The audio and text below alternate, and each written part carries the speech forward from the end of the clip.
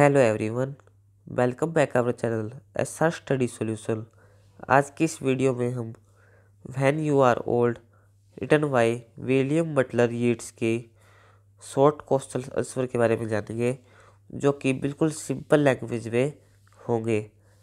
आइए वीडियो की शुरुआत करते हैं। फ़र्स्ट क्वेश्चन है how does Yeats nostalgically recall his lover यानी कि पोइट किस प्रकार अतीत की यादों में जाकर अपनी प्रेमिका को याद करता है। नोस्टालजिकली क्या होता है? अतीत की यादें। और उनमें जाकर अतीत की यादों में खोकर अपनी प्रेमिका को किस प्रकार याद करता है येट्स इसके बारे में हमें बताना है। The poet recalls the day when his beloved was young and beautiful poet उस दिन को याद करता है जब उसकी प्रेमिका बहुत ही यंग और ब्यूटीफुल थी। She was full of grace, उसमें बहुत सारा आकर्षण था। Many people loved her beauty. अनेक लोग उसकी ब्यूटी को पसंद करते थे। What the poet was the only person who loved her pious soul लेकिन जो पोइट है, वो ही अकेला ऐसा व्यक्ति था जो उसकी पायस सोल को लव करता था, उसकी पवित्र आत्मा को। यहाँ पे आप पायस सोल भी लिख सकते हैं, या फिर स्पिरिचुअल भी लिख सकते हैं, जो आपको आसान लगे, वो ही लिख सकते हैं। हमने दोनों ही लिख दिए हैं।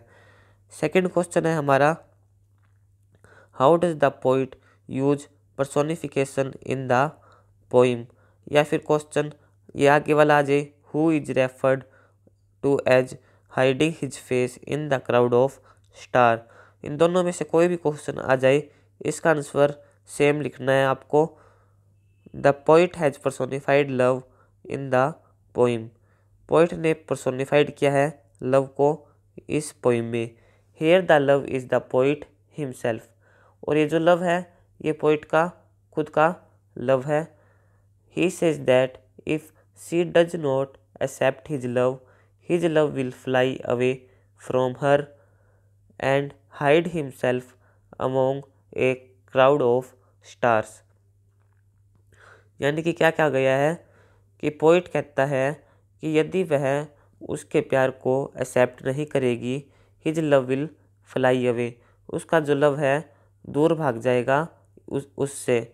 यानी कि अगर वह कवि के प्यार को एक्सेप्ट नहीं करती तो कवि का प्यार है वो उसकी प्रेमिका से दूर भाग जाएगा and hide himself among a crowd of stars और अपने आप को तारों के झुंड में छिपा लेगा।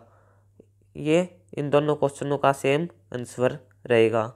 थर्ड क्वेश्चन है how does the poet call the soul of his lover a pilgrim यानी कि पोइट जो उसकी लवर की सोल है, उसको पिलग्रम क्यों कहता है? क्यों कहता है? पहले तो हमें ये जान लेना चाहिए कि पिलग्रम आखिर होता क्या है। पिलग्रम किसको कहते हैं? तीर्थयात्री को पिलग्रम कहते हैं। और उसकी सोल को पिलग्रम क्यों कहा है? कवि ने ये हमें बताना है। The poet says that his beloved is a beautiful poet कहता है कि उसकी विलव्ड ब्यूटीफुल है। At the same time she has a pious soul और साथ ही साथ उसकी सोल जो है, वो पायस है, उसकी आत्मा पवित्र है। Like a pilgrim. एक पिलग्रम की तरह, तीर्थयात्री की तरह विच द पोइट लव्स जिसे पोइट लव्स करता है। यही पीछे वाली क्वेश्चनों वाली बात हो गई कि पोइट उसकी पवित्र आत्मा से प्यार करता है, ना कि उसकी बॉडी से। जबकि जो अन्य लवर्स हैं, वो उसकी बॉडी से प्यार करते हैं।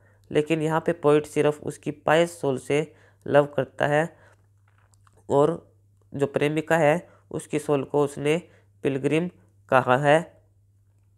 So the poet calls the soul of his lover a pilgrim. इसलिए पोइट्स उसकी सोल को एक पिलग्रिम कहता है। एक तीर्थयात्री की तरह। नेक्स्ट क्वेश्चन है हमारा। Question four. What will happen the lady when she turns old यानी कि उस लेडी के साथ क्या होगा जब वह बूढ़ी हो जाएगी? यह कौन सी लेडी है? कवि की प्रेमिका ही है। सभी में या तो फिर कवि की बात होगी, या फिर कवि की प्रेमिका की बात होगी। इस पूरी पोइम में क्या है कि जो कवि है, वो उस लेडी से प्यार करता है, अपनी प्रेमिका से, और उसकी पवित्र सोल को वह प्यार करता है, जबकि जो अन्य लवर्स हैं वो उसके शरीर से प्यार करते हैं और जैसे ही वह बूढ़ी हो जाएगी और जब उसकी शारीरिक सुंदरता नष्ट हो जाएगी तो सारे जो लवर्स हैं उसके, वो भाग जाएँगे उससे दूर और तब वह जो लेडी है कवि की प्रेमिका, वह याद करेगी कि कवि ही सच्चा प्रेमी था जो उसकी पवित्र आत्मा से प्यार करता था। ये पूरी पोइम इसी के ऊपर डिपेंड है और यही थीम इसमें पूरी पोइम में दिखाई गई है। तो इसमें पूछा है कि what will happen the lady when she turns old जब वह लेडी बूढ़ी हो जाएगी तो उसके साथ क्या होगा?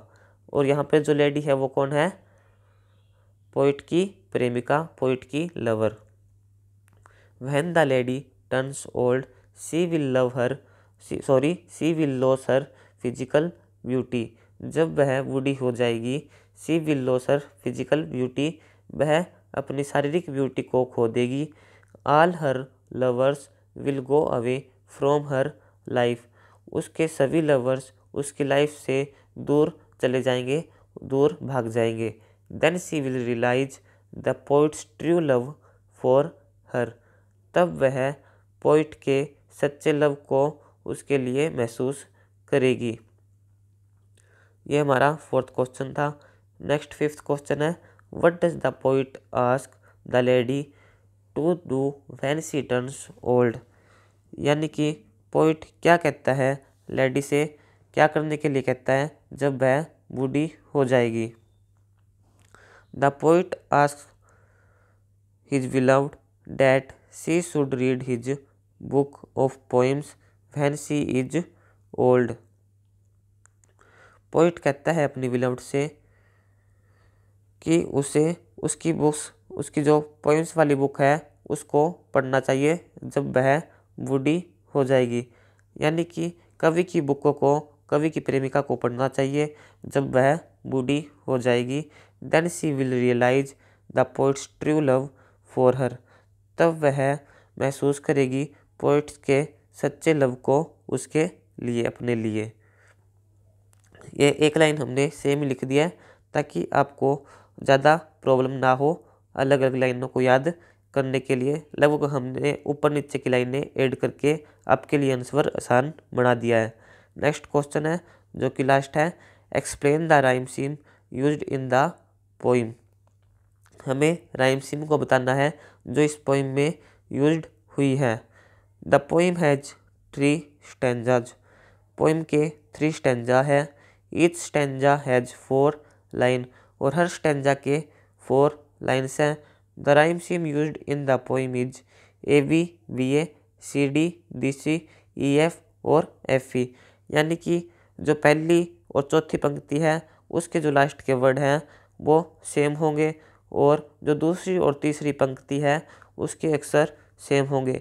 जैसे कि अगर पहली पंक्ति में आया है ग्रेस तो ग्रेस से उल्टा ही जो चौथा है, उससे मिलता जुलता वर्ड ही फोर्थ लाइन में होगा। और जो सेकंड लाइन है और थर्ड लाइन है, उन दोनों के लास्ट के वर्ड में सेम लगभग लास्ट में प्रोनाउंस होगा। तो ये सब कुछ हमारे इस पोइम में सिक्स क्वेश्चन थे। आई होप आपको यह वीडियो अवश्य पसंद आई होगी। वेरी इजी लैंग्वेज में हमने करके वीडियो को बनाई है आपके लिए। बस आप एक काम कर दीजिएगा वीडियो को लाइक कर दीजिएगा और पहली बार चैनल पर आए हैं तो चैनल को भी सब्सक्राइब कर लीजिएगा और अपने फ्रेंड्स के साथ वीडियो को शेयर कर दीजिएगा। थैंक यू बाय बाय फिर मिलेंगे ऐसी एक और वीडियो के साथ। बने रहें एस स्टडी सोल्यूशन के साथ। Bye bye